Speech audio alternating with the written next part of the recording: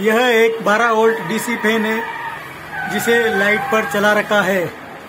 इसे आप solar panel and battery दोनों से डायरेक्ट भी चला सकते हैं।